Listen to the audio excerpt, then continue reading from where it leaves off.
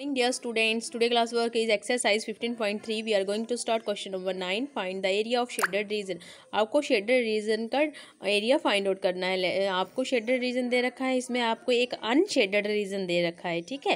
Let start the solution सबसे पहले हम रेक्टेंग जो हमारा जो रीज़न है, उसे हम ड्रॉ करेंगे।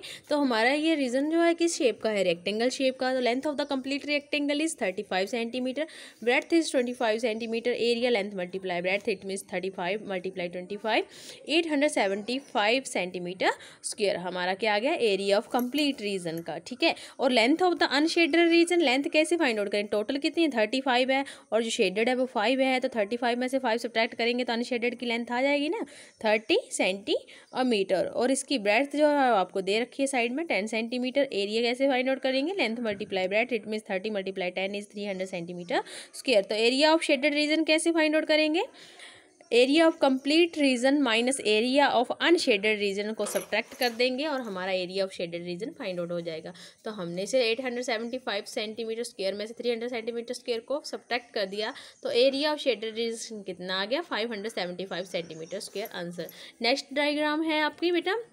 इसमें एक रेक्टेंगल दे रखा है और फोर्थ जो इनके, इसके कॉर्नर है कॉर्नर में जो है फोर कितने, क्या है स्केयर है, क्योंकि यहाँ पे फाइव सेंटीमीटर है, ये भी फाइव एट मीन सभी साइड्स क्या है इसकी? फाइव सेंटीमीटर और जिसकी सभी साइड से इक्वल हो, वो हमारा स्क्वेयर होता है। तो length of the complete rectangle is eighty and breadth is sixty तो इसका एरिया फाइंड आउट करेंगे। Length multiply for breadth forty eight hundred metre square total unshaded region is four square unshaded region में कितने squares हैं?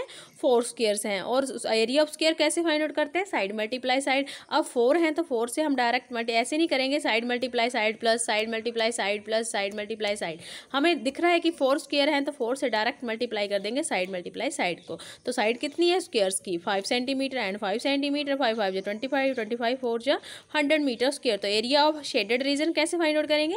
Area of complete rectangle minus area of unshaded region subtract कर दिया तो forty eight hundred metre square में से hundred metre square subtract हुए तो forty seven metre square forty seven hundred metre square is answer